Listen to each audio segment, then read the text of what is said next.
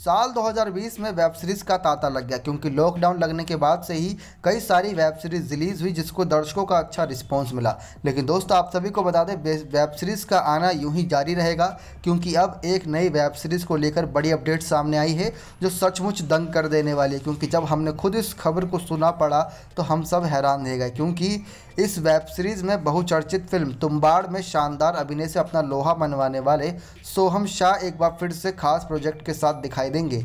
जी हाँ दोस्तों, साल 2018 में आई फ़िल्म तुम्बाड़ के ज़रिए घर घर में पहचान बना चुके सोहम शाह बॉलीवुड का जाने माने एक्टर्स की लिस्ट में शामिल हो चुके हैं। बताते चले दोस्तों कि इनका जो अपकमिंग प्रोजेक्ट है, वो काफ़ी एक्साइटेड करने वाला है। क्योंकि ये इतने उम्दा एक्टर्स की लिस्ट में शामिल हो चुके हैं तो उनको ऑफर्स भी आप बड़े बड़े आ रहे हैं। तो ऐसे में सोहम शाह बहुत जल्द एक वेब सीरीज़ में नज़र आएँगे।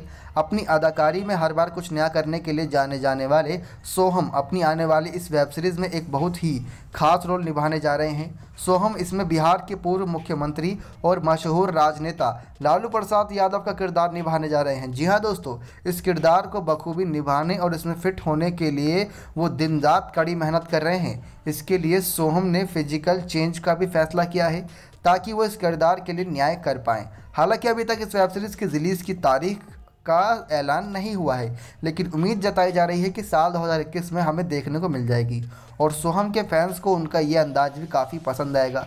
बताते चले, इससे पहले सोहम को पिछले साल इमरान हाशमी और जयदीप अहलावत की web series bard of blood में देखा गया था। यह सीरीज़ स्पाई नोवेल पर आधारित थी। इस वेब सीरीज़ से सोहम ने अहम किरदार निभाया था। इसके अलावा सोहम, कुकी गुलाटी की द बिग बुल में भी अभिषेक बच्चन और निकिता दत्त के साथ नज़र आने वाले हैं। ये दोनों ही वेब सीरीज़ जल्द ओवर द टॉप प्लेटफॉर्म पर रिलीज़ होने वाली है। तो एक्साइटेड रहिए दोस्तों, क्योंकि काफ़ी ज़बरदस्त वेब सीरीज़ होगी। Next nine life report.